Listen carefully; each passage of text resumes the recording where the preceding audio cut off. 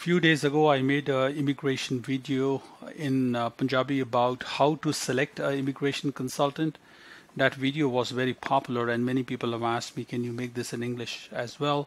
So here it is and I will be very brief. Uh, all the information is listed on the ICCRC website so you can go to the website and go to look at the consumer guide you are seeing on the screen and then you can follow through the questions but I have some favorite questions of mine uh, when you go to any immigration consultant, whether it is in Canada, the choice is made in Canada, or you go to any consultant outside Canada, there are at least three or four questions that you you should ask to safeguard your own interest. Uh, many people get defrauded by unauthorized, unlicensed consultants. So my first question is, Mr. Consultant, are you licensed to practice law in immigration, immigration law uh, in in Canada? Uh, if yes, can I see your license number or can you show me your license number either on the immigration's website or if you have a copy, I'd like to see that. Uh, if they are not licensed, they will not be able to show, or maybe they will tell you that they are connected to a immigration consultant or law in Canada. In that case, then you should tell them, look, I need to talk to the consultant directly who's licensed, who will apply uh, my application, not you. You may be an agent or a distributor of that person, but I need to talk to that main person who is responsible, not you. Sorry, and then you get up and leave office and you leave. If he, if that person is licensed, then that's good. Then we go to the second question, Mr. Consultant. How much experience do you have in my kind of application? For example, I'm here to talk about PNP applications so have you done PNP applications in the past or how many applications have you done? Can you tell me your success ratio? Can you tell me some names of some clients that you have dealt in the past, at least for past six months or so, so that I can cross verify if needed. So that's a that's a good second question. If they have really done those cases, they will be able to give you some references, at least a few to for you to cross verify. And number three is that when I pay you the money who will get the money? Will the immigration consultant get the money or you get the money and will I get a receipt?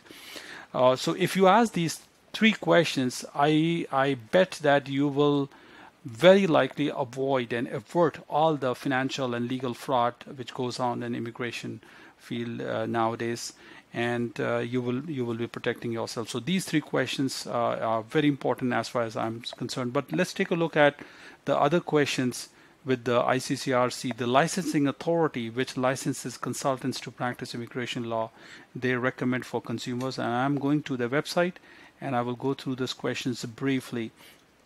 How experienced are you? Of course, I've already talked about this. If they are licensed, they would have some experience unless they are very fresh, then maybe we don't know whether they are experienced enough or not. So, how experienced are you? I've been refused in the past. Can you help? Yes. Uh, if I've been refused in the past, what can you do with my refusal, or how will my refusal uh, affect my future applications? What services I'm paying for? What exactly I'm paying for? I'm paying for application itself. I'm I'm paying for job search, or what kind of work will you do and stuff. You know exactly everything should be written in a retainer contract uh, next question is who will be working on my application? Sometimes when you talk to immigration consultant or even a lawyer, they are there to talk to you for the first meeting, and after that, you cannot find them. You know, when you call them, they are always busy. They are always on the voicemail, and they will ask you to talk to a paralegal, a legal consultant, a legal assistant, and that may not be the best, uh, you know, situation for you because you want to talk to the person directly who will represent your file to the government, not somebody else.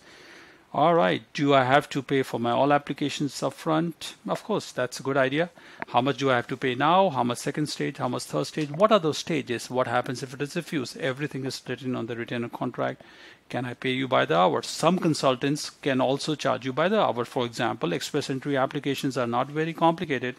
They possibly require close to about 10 or 15 hours of the work.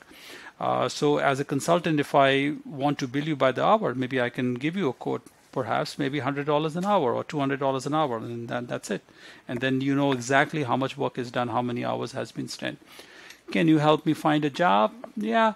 Uh, you have to be a licensed recruiter in Canada to find a job for a client. If they are immigration consultants only, they are not authorized to find you a job. So, you know, you should ask them, will you do this or not? If they say yes, then you need to see their recruiter's license as well. Next question is, do you receive a commission working with the employer school? Sometimes these consultants are agents of colleges and they get commissions uh, of the admissions. So you need to understand whether they will work uh, on the, your application by charging you and at the same time getting a commission from the college. So they are they are doing a which is called a double dip on both sides. So perhaps if they're getting the commission, they are working in self-interest for maximizing the commission, not necessarily in getting you the right college or the right course. What happens if I cancel my contract? Will he refund my money? That's easy. Why are fees so expensive? Maybe he's a specialist in immigration. Who knows? I have many experience. So these are all the questions that if you ask, and of course, I gave you my basic three questions uh, in the beginning. If you ask those questions, I can uh, almost guarantee you that you will avoid with 99.9% of all the fraud that goes on in immigration applications. And by the way, this is for immigration consultant. This uh, this is on the website of ICCRC, the licensing authority of uh, for immigration consultants Canada. But I but hey. Uh, these questions will help you even even if you go to a regular lawyer, any immigration lawyer, uh, you know whether they are in Canada or in U.S. or in India, or, uh, no matter where they are. I think this these questions will serve you well uh, no matter whether they are consultant or immigration lawyers. I will go to even that extent. Uh, whether you're talking to a lawyer, maybe you want to do some real estate transaction or commercial property transactions or insurance transaction, or any any kind of lit- any kind of application with any lawyer. I think these questions will more or less eliminate a lot of fraud and a lot of mistakes on your part, so that you have the best lawyer, best consultant possible in your application. That's all I had to say. Thank you very much for your time. Uh, you can check everything on immigration website. Uh, it's not private information just with me. It is all public information. And as always, I love to read your comments and see if you have been helped uh, for fraud prevention in immigration. Thank you very much. Bye bye.